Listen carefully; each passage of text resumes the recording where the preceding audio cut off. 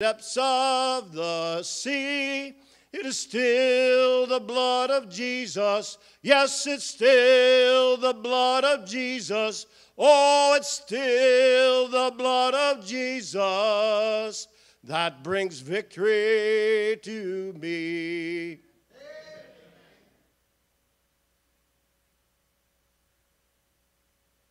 All right, grab your hymn book again. Turn to page 393. We'll sing There Shall Be Showers of Blessing. Page 393.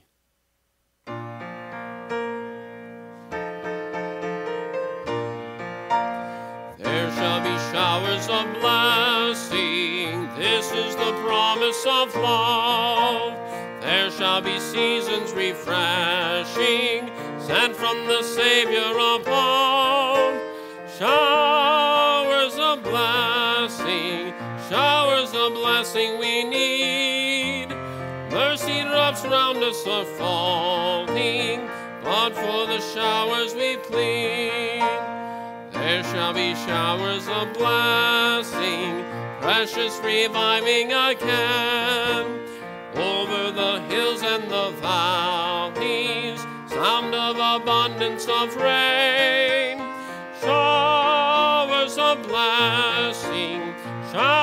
Blessing we need. Mercy drops round us are falling, but for the showers we plead. There shall be showers of blessing, send them upon us, O Lord. Grant to us now a refreshing, come and now honor thy word.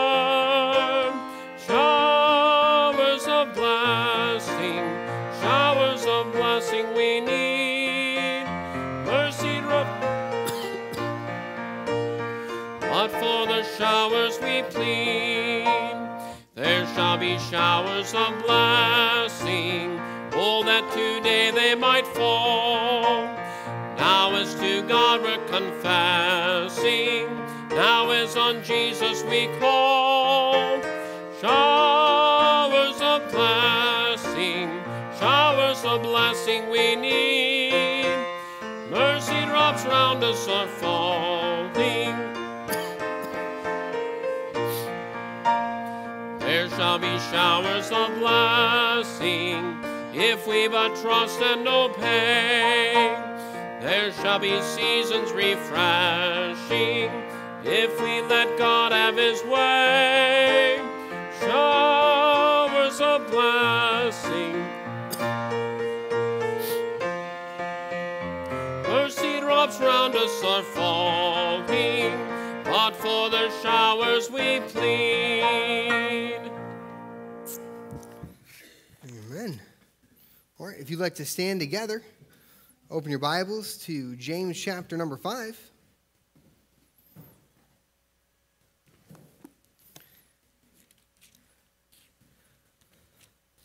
James chapter number 5.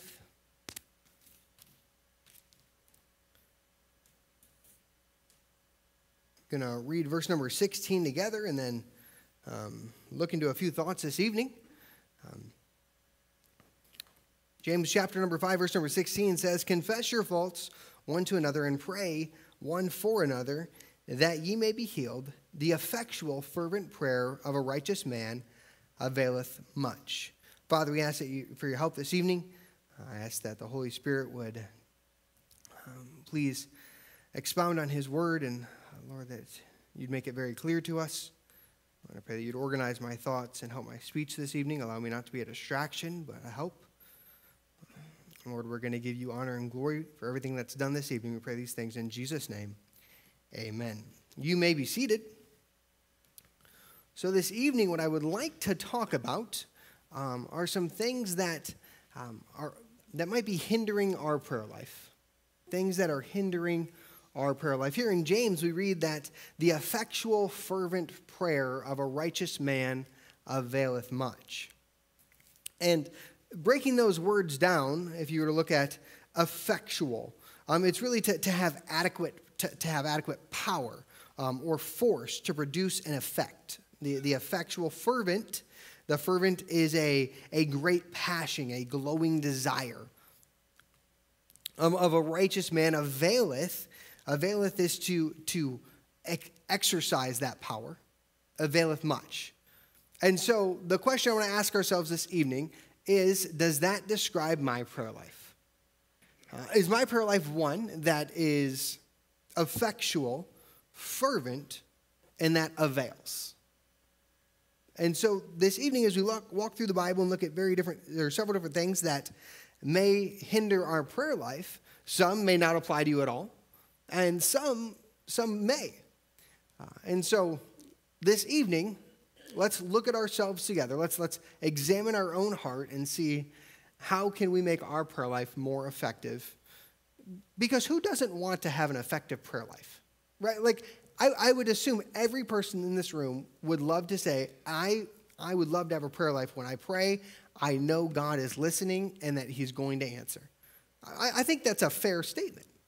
And so I think it's also fair to search in Scripture and find what would prevent this. Okay? So, number one, I, I think I have eight things. Eight things. The first thing um, is a lack of salvation. A lack of salvation is going to hinder your prayer life if you didn't know that. Um, one thing that can, can get under my skin a little bit, and it probably shouldn't, but I don't, patience is something I pray for often. Like I'm trying to get more patience. But when I, when I hear or see lost people that are they, they are clearly lost. And they're praying to God and they're saying, you know, give me a sign or, you know, heal this person and I'll do all this stuff. And it's, that's not how it works. Like, you can look all through this book and you're not going to find that in there. Uh, a saved person is not going to get God's attention through prayer. Uh, the, the only time would be that prayer of salvation. And until that moment happens, prayer for an unsaved person doesn't exist. Turn over to Psalm 66. We're going to turn in our Bibles a lot this evening. So hopefully your fingers are, are all warmed up. I know it's a little cold in here. Maybe rub your hands together a little bit. Get your, get your joints all loosened up. Psalm 66, verse number 18 says, If I regard iniquity in my heart, the Lord will not hear me. I mean, that's pretty, that's pretty basic and that's pretty direct. If I regard iniquity in my heart, the Lord will not hear me. So if you are not saved this evening, you need to be. Not, not just to have a prayer life, but to have a relationship with God, to be reconciled unto Him. Nothing would make every person in this church happier if someone were to come forward tonight and say, you know, Pastor Steve, I don't know for sure that I'm saved. Everybody would be thrilled. It, I, it wouldn't matter if you've been going to this church for 15 years, every person would be excited for you. And so never, never use that as an excuse. Well, I've been going here for so long and I'm sure I'm, yeah, I'm sure I'm fine by now. No, if you can't show me a Bible reason why you know for sure you're on your way to heaven, please come see me. Please come see me after the service. So the first thing, a lack of salvation.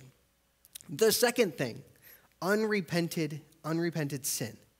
Kind of going along with a lack of salvation, except obviously now we're saved so we can have that communion, that conversation with God. But unrepented sin is going to hinder those prayers. Turn over to Isaiah, Isaiah chapter 59. Isaiah chapter number 59.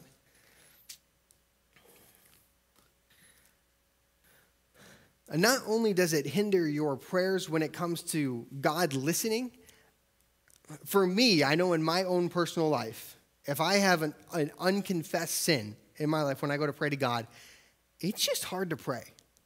It's hard to pray with any kind of how James described it fervency, strong desire. I, man, when I, if I have sin in my life, it, it just ain't gonna happen. Now, I am not saying that you have to be completely perfect in order to pray. That's not what I'm saying. But I do believe that you need to have you need to remove the unconfessed sin from your life. It's just like if you were to take communion. Um, if you look at Isaiah 59, the Bible says, "Behold, the Lord's hand is not shortened that it cannot save, neither his ear heavy that it cannot hear. But your iniquities have separated between you and your God, and your sins have hid his face from you that he will not hear. This principle applies to us today as well. Obviously, we understand that Isaiah was writing this specifically to Israelites at the time, but the principle applies. We, we understand that God's characteristics are the same. And so, the Lord will separate himself from iniquity. We, we can't get into heaven, right? If we have sin in our life, we, we, if we have unconfessed sin, we have not been saved, we can't get into heaven because iniquity separates us from God. I mean, that, we read that in Romans, we read that in Corinthians, that, that's all throughout the Bible, that, that policy, if you will, of your sin is going to separate you from God. And so when it comes to your prayer life, that, that same principle exists when you're trying to have an effectual, fervent prayer. 1 John 3:22 says, "And whatsoever we ask, we receive of him, because we keep his commandments and do those things that are pleasing in his sight." God prefers it when we are good, I promise you. Um, so often today we hear about this easy, believism, right? To where, you know, just name it and claim it and you're saved and then live life as you want. God prefers you to do right. Um, you know, the, the song that we sing in family school, you know, um, shall I say? Shall I continue? It I had to sing it a little bit, sorry. Shall I continue in sin? That grace may abound, God forbid. That is not, that is not how a Christian's life is designed to work. That's not how our prayer life is designed to work. So, first, a lack of salvation. Second, unrepented sins. Uh, third, wavering faith. Wavering faith will hinder your prayer life. Turn back over to James, chapter number one. James, chapter number one.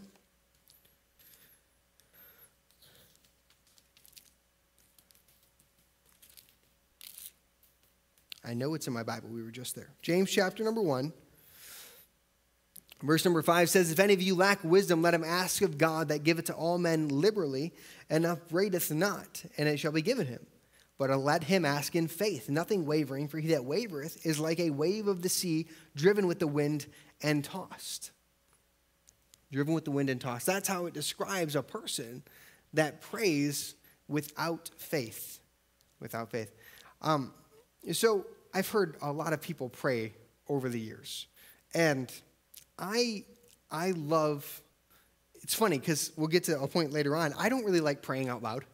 I know that sounds funny, right? But I, you know, like you, an assistant pastor, like I just don't. I don't like doing it. I'd much rather be in in a closet by myself praying there than talking in front of you people. Y'all scare me a little bit, and so. No, but I, I love when I hear people pray and you can tell it's just it's just so genuine. It's just you can tell when they pray they're they're just asking. You know, like like you were talking uh, last week. He's just talking to God, and that person when they're praying, they're praying with faith. Uh, they're, they're praying with the confidence that I am talking to the creator of the universe, the savior of my soul, the one that died on the cross for my sins, the one that is there for eternity, the one that's been, uh, you know, forever past. Uh, for, like, they're confident in who they're talking to. But as we've been saved for so long, I feel like we can, we can lose some of that, especially when we're praying in front of people. You know, we, can, we can get in this mentality because the fact is you want to like you, you want to sound polished, you know, use correct grammar. You, you want to make sure you say words that make sense and don't make them up in your prayers. You know, if I do that when I'm praying by myself, Lord and I just laugh about it a little bit. but in front of people, it's a little different. But when that person's praying, that's unpolished. That's, that's a blessing to me. Just, just to hear the faith in their voice is, is a blessing. Um, if you look back at the verse number five, it says, If any of you lack wisdom, let him ask of God. Now, in this chapter, we understand this is talking about wisdom uh, when it comes to temptation, right? This whole chapter is about temptation when it comes to the context. But if any of you let, let him, or lack wisdom, let him ask of God that giveth to all men liberally and upbraideth not. You know what that word upbraideth not, that, that saying is, is meaning? He, he will not make you feel dumb. You ever ask that question and your teacher's like, seriously? Didn't we just talk about that for the last two hours? God doesn't do that. God says, "Oh, you want wisdom with this? Yes. Oh, you're going to claim the you know the promise I've given you in James one. Absolutely. Here's the wisdom that you need to get through this temptation, and He'll do that, and He won't make you feel stupid. He's like, You've asked this 500 times now for this same temptation, and yet you're going to ask again. The Lord, the, when we have faith that He's going to do what He says He's going to do in His Word, He blesses. Hebrews 11, 6 says, But with, without faith, it's impossible to please him. For that he that cometh to God must believe that he is, and that he is the rewarder of them that diligently seek him. Faith is so crucial in our prayer life. Um, it, it, without it, it's going, it's going to hinder our prayer life if we don't have true faith when it comes to prayers. 1 John 5, 14 and 15 says, And this is the confidence that we have in him, that if we ask anything according to his will, he heareth us. And if we and if we know that he hear us, whatsoever we ask, we know that we have the petitions that we desire of him. He says we can have that faith. We can know if it's his will, we don't have these other things hindering our prayer life, and it's his will, we can be confident in our petition. And yet, so often, I think we lack that that faith. Mark 11, 24 says, Therefore I say unto you, whatsoever things ye desire, when ye pray, believe that ye receive them, and ye shall have them. Now, I'm not, I'm not, once again, I'm not going with a name it and claim it style prayer life. But I, I do believe the Bible teaches that we need to have faith in our prayers. Uh, that we need to not just be, you know, talking to the ceiling, if you will, but understand who we're talking to and have a faith that He has a desire to answer those prayers. All right, so we have um, a lack of salvation, unconfessed sin, uh, a lack of faith. Number four, wrong motives. Wrong motives. I believe this is one of the biggest hindrances in our prayer lives um, because of not because of what we're asking, but because of why we're asking it. Uh, let's turn over to um, James. You're already in James. Turn over to James chapter 4, a couple pages over. James chapter 4, then we're going to turn over to Math or to Luke here in a second. James chapter number 4, verse number 3 says, Ye ask, uh, let's back up to verse number 1. Uh, from whence come wars and fightings among you? Come uh, they not hence, even of the lusts that war in your members? Ye lust and ye have not, ye kill, ye desire to have and cannot obtain, ye war or ye fight in war, yet ye have not, because ye ask not. Ye ask and ye receive not, because ye ask amiss that ye may consume it upon your lusts. That verse right there, I think most Americans should learn. Um, you know, like when Pastor tells the story about people coming in and asking him to pray with them over their lottery ticket. You know, just, just, just pray that the Lord will bless this. I'm going to give it to the church. I'm going to. The funny thing is, the people that pray that, they obviously have some money right now. Why don't you just give that to the church? Why don't you start with what you got and then, then see what happens after that? But I'm not condoning playing. Don't say, Stephen, I gave all my money to the church, and then when bought a lotto ticket, I didn't win. I, that's not what I'm saying. Okay, so, but wrong motives is a is a big uh, a big hindrance in our prayers um, because we're we're praying it for ourselves rather than for the for God's will. Turn over to Luke chapter 22. This is a very common passage of Scripture. Um, it's one of my favorite. Luke chapter 22.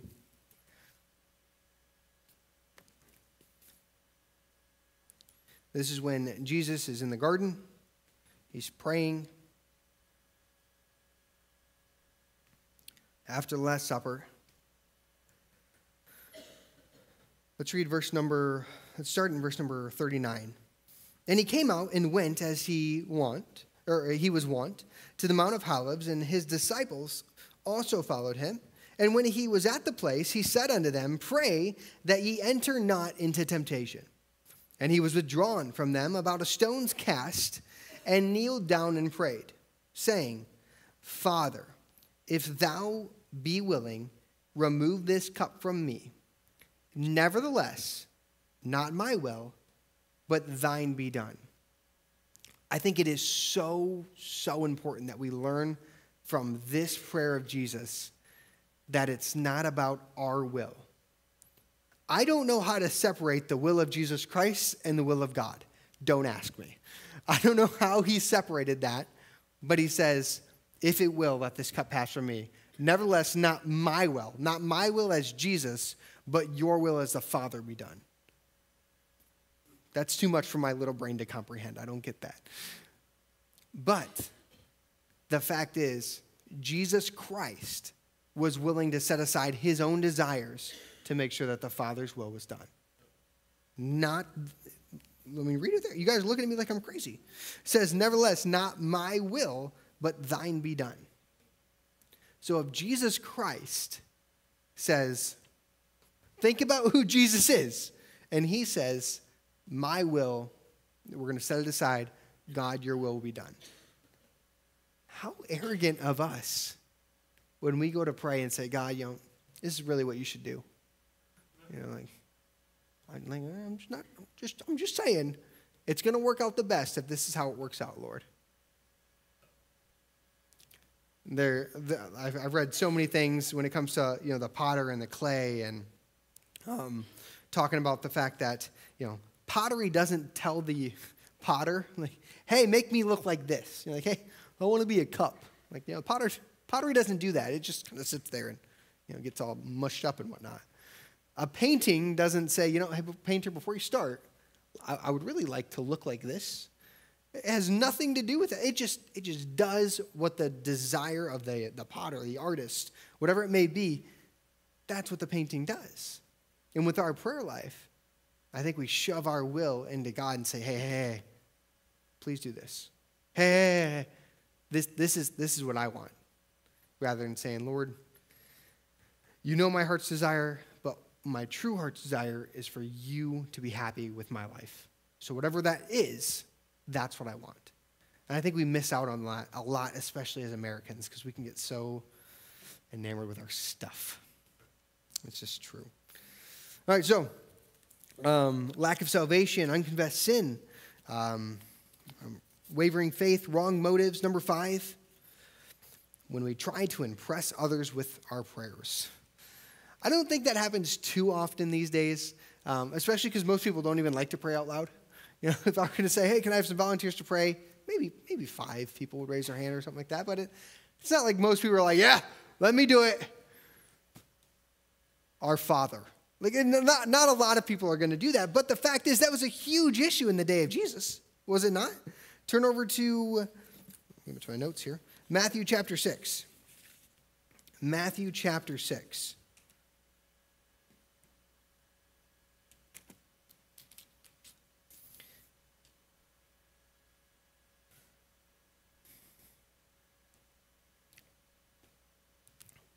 Matthew chapter 6, verse number 5. This is very familiar portion of scripture when Jesus is talking about prayer and he's rebuking the Pharisees for how they do it. And when thou prayest, chapter 6, verse number 5, and when thou prayest, thou shalt not be as the hypocrites are, for they love to pray standing in the synagogues. Um, where else? Uh, sorry. And in the corners of the streets, that they may be seen of men. Verily I say unto you, they have the reward. But thou, when thou prayest, enter into thy closet. And when thou hast shut the door, pray to thy Father which is in secret. And thy Father which seeth in secret shall reward thee openly.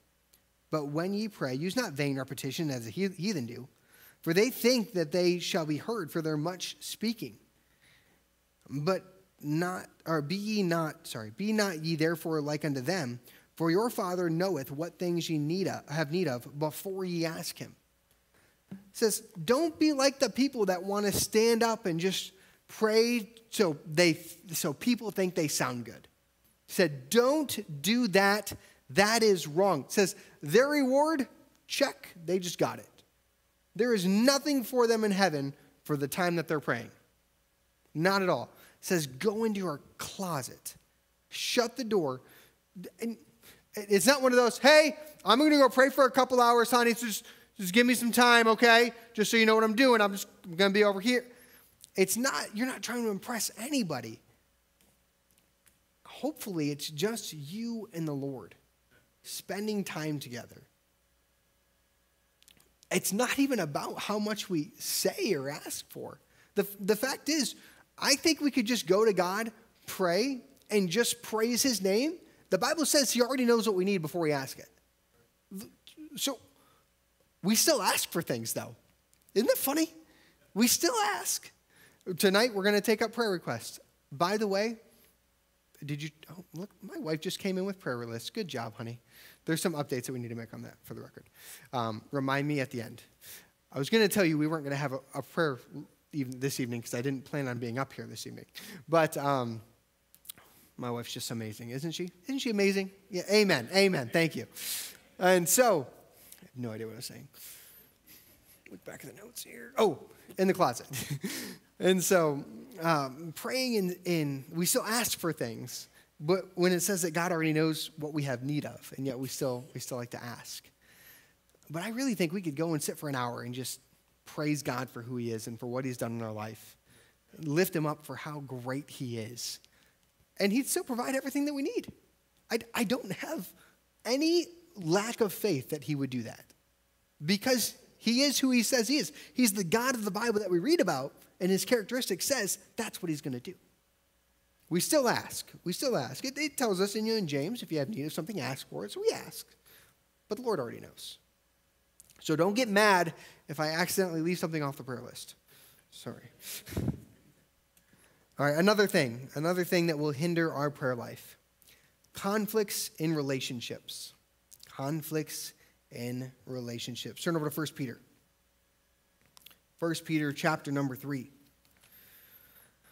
How exciting is it that they will translate a verse of Scripture this week? Isn't that exciting? I'm so excited.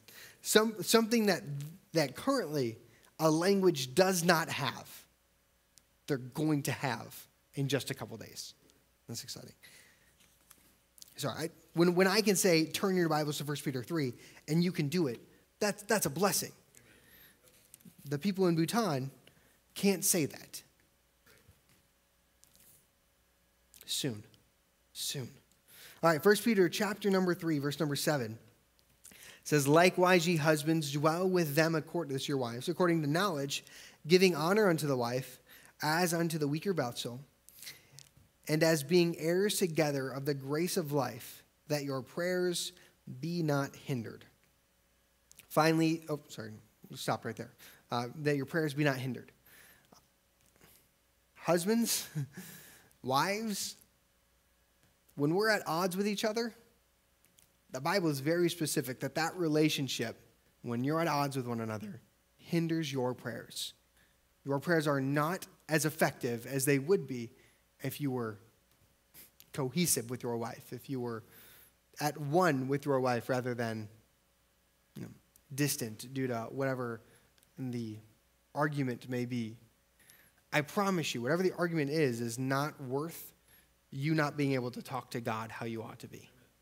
Um, say you're sorry, get over it. That's what I learned really fast. No, I'm, I'm just kidding. Don't let a disagreement mess up your relationship with the relationship that matters the most in this life. No, don't get me wrong. Your relationship with your husband, your wife, it's way up there. But the Lord is, is above that, or it should be. I know it can be hard sometimes to put the Lord above your spouse, but it's something that the Bible commands us to do. And so don't have, don't have contention with your spouse and let it cause contention between you and the Lord. Mark 11, 25 says, And when ye stand praying, forgive if ye have aught any against any, that your Father also, which is in heaven, may forgive you your trespasses. You ought to be forgiving to one another. Quick to forgive is a good way to live by. Um, quick to quick to bitterness is not a good way to live by. Quick to hold something in and I remember what they did to me. Yeah, they said sorry. They didn't mean it. It's going to hinder your prayer lives. Matthew 5, so a couple of verses here. Uh, verse number 21 through 24 says, Ye heard, uh, ye have heard that it was said of, by them of old time that thou shalt not kill, and whosoever shall kill shall be in danger of the judgment. But I say unto you that whosoever is angry with his brother without a cause shall be in danger. Um, I'm sorry. Yeah, shall, shall be in danger of the judgment. And whosoever shall say to his brother Raca shall be in danger of the council. But whosoever say thou fool shall be danger of, danger of hellfire. Therefore, if thou bring thy gift to the altar, and there rememberest that thou have aught against thee, leave there, there thy gift before the altar and go thy way. First be reconciled to thy brother, and then come and offer thy gift. Our relationship with each other matters. It, matters.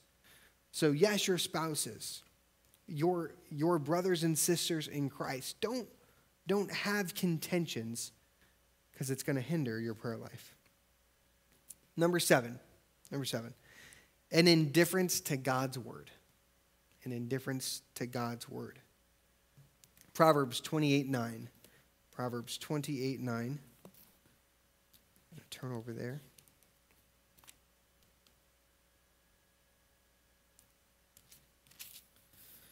Bible says, He that turneth away his ear from hearing the law, even his prayer shall be abomination.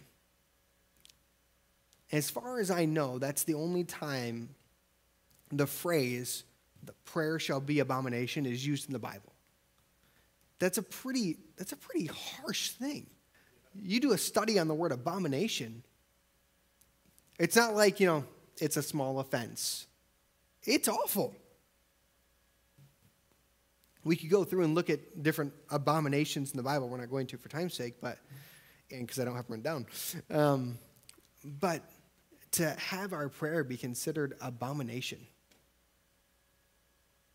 And he says, if you turn your ear away from this, if you know what the Bible says and you say, no, I don't want to hear that, I'm, I'm going to completely turn away from that, says your prayer is abomination. God says, why, why are you talking to me if you're not going to let me talk to you? Right? We, that's what we say, right? We said, reading the Bible, you know, that's what I learned in junior church. Reading the Bible is God's talking to us, and prayer is us talking to Him. You turn your, way, your ear away from His word. God says, Why would I listen to you if you're not going to listen to me? An indifference to God's word will hinder our prayer life. John 15, 7 says, If ye abide in me and my words abide in you, ye shall ask what ye will, and it shall be done unto you. anytime we see the word if, that tells us that it's conditional, right? So back up to John 15, 7. If ye abide in me and my words in you, ye shall ask what ye will, and it shall be done unto you, or done unto you. So if you don't, it won't. If you're going to live how you want to live, and you're going to keep my words in you, then you're going to come to the conclusion in Psalms where it says that the desire of my heart is really the Lord's desire. You're going to come to the same conclusion that Jesus came to that says, God, your will is what I actually want. You're going to come to that conclusion. And if so, the Lord's going to answer those prayers. He's going to answer a lot of times without you even asking. We'll read over and over in the Bible where prayers were asked specific prayers and they went along with God's will and he did them. We don't know that he would have done them with had you not asked right? Um, but if you don't live a life where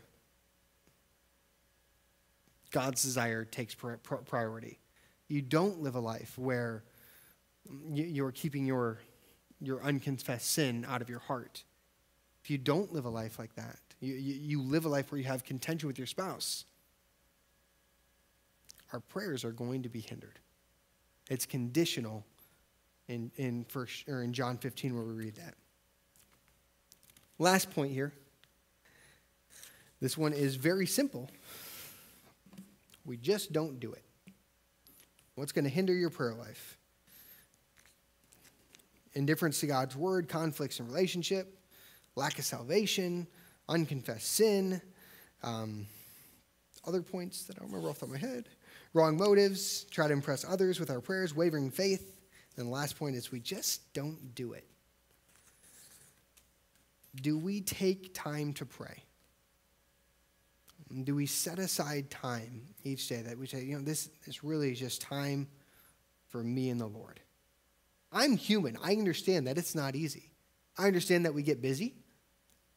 Hunting is like my favorite time of year because I have no issues setting aside, aside time to pray. You get me in a tree stand, I'll talk to the Lord for a couple hours and I'll enjoy it. But I tell you what, throughout the day, I mean, it's easy to get so busy. Wake up early, you know, get, get, get to work, you know, get, get working on things, and soon enough you realize, oh, I didn't even stop to pray today. Don't think that just because I work at a church, I'm immune to the same thing that you're immune to. I promise you, I'm not. But not doing it's going to hinder our prayer life. We already read James 4 2. It says, You lust and you have not, you kill, desire to have, cannot obtain, ye fight in war, yet ye have not because ye ask not. You just don't do it. Matthew 7, 7 and 8 says, Ask and it shall be given you. Seek and ye shall find. Knock and the door shall be opened unto you. For everyone that asketh receiveth.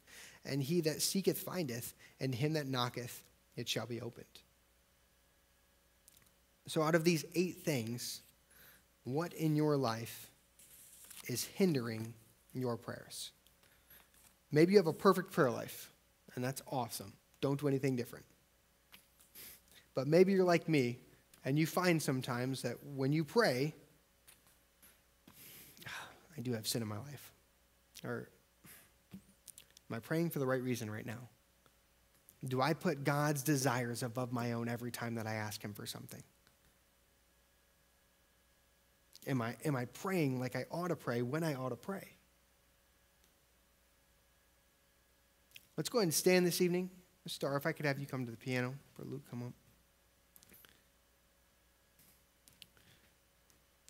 With our heads bowed and our eyes closed, the Star will play something on the piano. Very simple message this evening.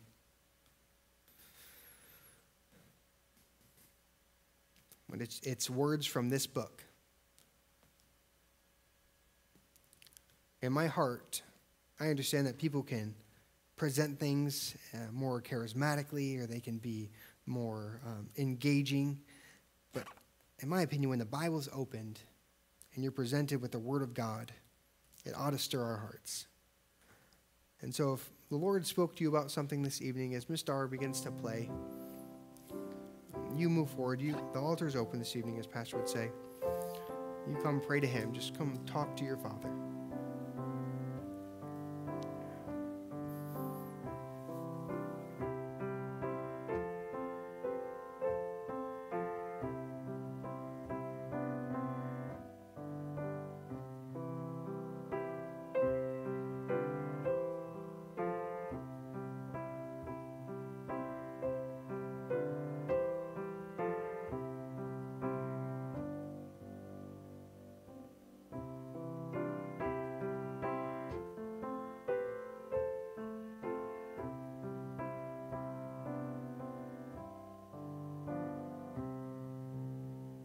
You want to grab your hymnals, we'll turn to page number 220 and sing some of this together. Sweet Hour of Prayer. Sweet Hour of Prayer. Luke, lead us as we sing. Sweet hour of prayer, sweet